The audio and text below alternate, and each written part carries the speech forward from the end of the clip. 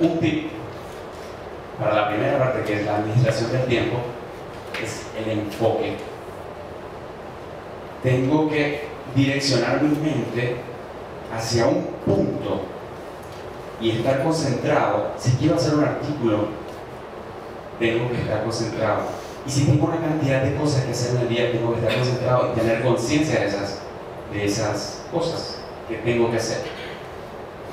¿Quién me dice cuáles son las dos herramientas, las dos herramientas principales de enfoque? ¿Cuáles creen que son las dos herramientas de enfoque que yo utilizo? ¿Alguien se atreve a decir algo? No importa que, que no sea lo que yo tengo aquí, porque al fin y al cabo es muy sencillo, pero mucha gente no lo hace. No, no leer los mails a la mañana. No leer los mails en la mañana. ¿Otra, otra idea? Visualizar. La visualización. La visualización. Perfecto.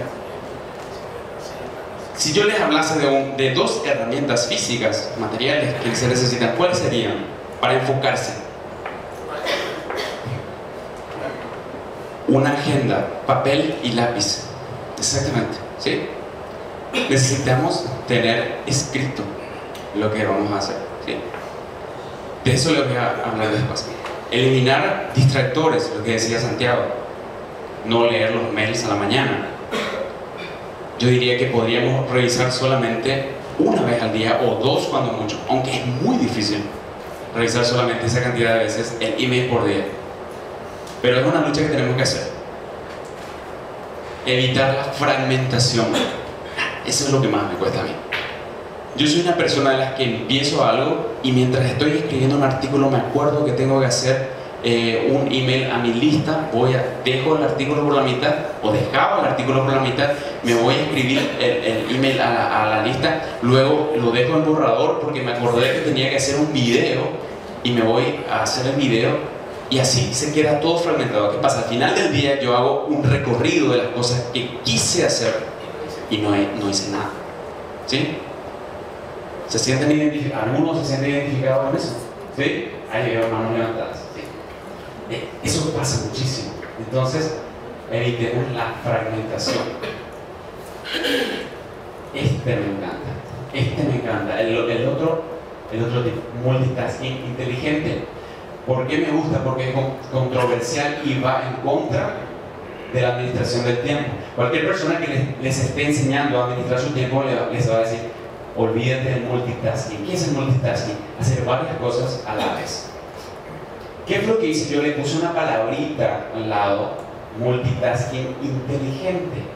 ¿Sí? ¿Por qué? Porque no todas las tareas son viables de ser utilizadas para el multitasking. Es decir, no yo no puedo estar en una conferencia, sea presencial o sea un semi- seminario, y estar chateando. Es muy probable que me equivoque en lo que estoy escribiendo acá y, no pueda asimilar lo que estoy escuchando en la, en la conferencia. ¿sí? Entonces esas dos tareas no son recomendables para el multitasking. ¿sí? O escribir un artículo y tener el, el chat prendido. ¿Por qué? Porque te, me suena algo y por, aunque yo no responda, veo y me desconcentra. Me desconcentra. Y si, uno está en un nivel de, con- de concentración determinado y se desconcentra, se le saca del foco, se tarda al menos 20 minutos en volver a llegar al mismo nivel de concentración. Entonces estoy perdiendo tiempo. Por cada distracción que tengo estoy perdiendo tiempo. Y si pierdo tiempo, pierdo mi vida, porque mi vida tiene un límite en el tiempo. Si yo te estoy dando mi tiempo, si vos me estás dando tu tiempo, me estás dando parte de tu vida. O sea, es así de grave perder el tiempo. Es así de grave.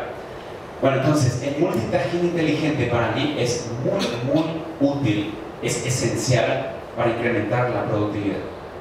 Yo puedo estar editando un video y cuando estoy, mientras estoy editando un video, también puedo darle un clic al upload de YouTube y subir lo que ya edité.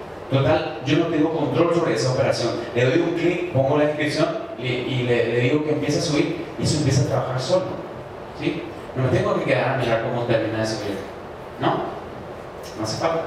Entonces, hay, hay, este, actividades que permiten el multitasking. Por eso, el multitasking inteligente, tenemos que tener la capacidad de discernir entre qué actividades podemos hacer al mismo tiempo sin que una moleste a la otra, sin que una vaya en detrimento de la otra.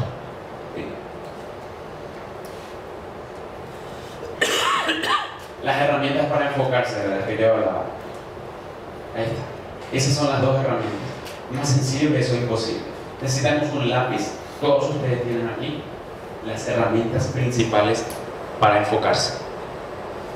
Yo, antes de acostarme, si tengo una cantidad inmensa de cosas que hacer mañana, lo que yo hago es anoto todas las cosas que tengo que hacer en el orden que aparezcan en mi mente y luego les doy una prioridad.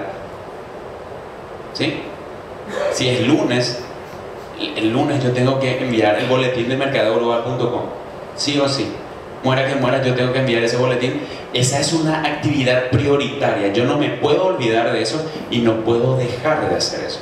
Entonces, le, le doy una prioridad en números, en letras, como yo quiera, de la forma que yo pueda entender eso. ¿sí? Entonces, eso hace que yo mañana, al día siguiente, además de que si yo lo hago antes de dormir, se fija mucho mejor en mi cerebro, mañana al día siguiente yo miro, ah, tengo que hacer esto, esto, esto. Entonces empiezo. Empiezo por esto, empiezo por lo otro. Le doy un orden en mi cerebro, porque nuestra mente es muy bulliciosa, salta de aquí, salta de allá, por todos lados. Es imposible callar a la mente. Si uno se, se, se, propusiese callar a la mente por cinco minutos, no pensar en absolutamente nada, es imposible. Es más, hay estudios que demuestran que cinco segundos no podemos pensar en una sola cosa. Por ejemplo, imaginar un punto rojo por cinco segundos uno a los cuatro cambia, se imagina otra cosa, piensa en otra cosa, le viene otra cosa. Entonces necesitamos ordenar, ordenar los procesos, ordenar las tareas, darle una prioridad, entonces es mucho más fácil.